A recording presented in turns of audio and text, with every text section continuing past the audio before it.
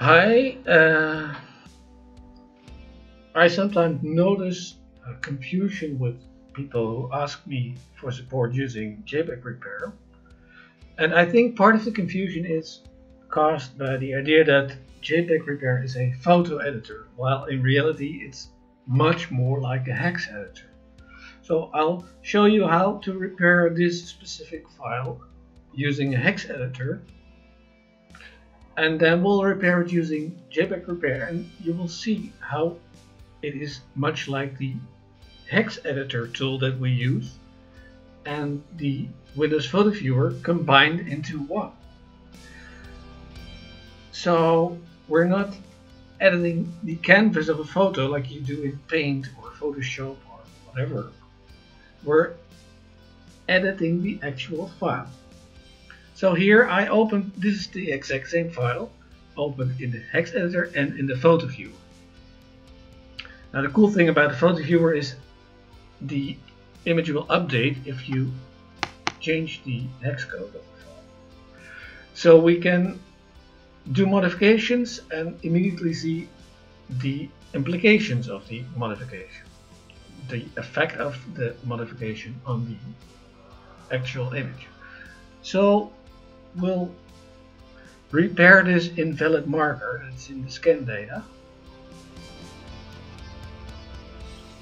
I would I used to do it like this all the time so and and then I built a tool to do it but it's the exact same method you change a byte in the binary file data and it has an effect on the image once it is decoded so we'll do the same we'll repair the same error using JPEG repair.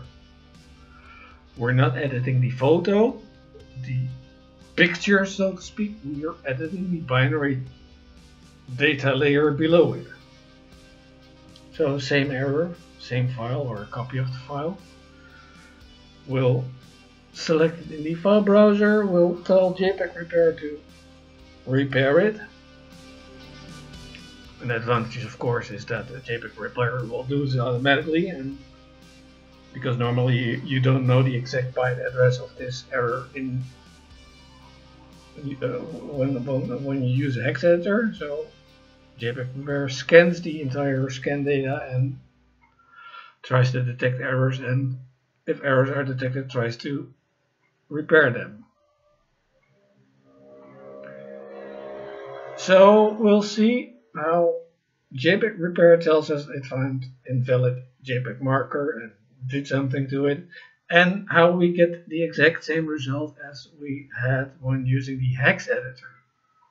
So it demonstrates that JPEG repair is like the hex editor and Windows Photo Viewer in one tool with some additional additional features like detecting errors and doing certain stuff automatically and uh, mapping specific pixels to specific data within the file because it's compressed data so it's not like if you uh, would want to change a pixel halfway of, uh, inside the picture it's also automatically halfway inside the file because we're dealing with compressed data.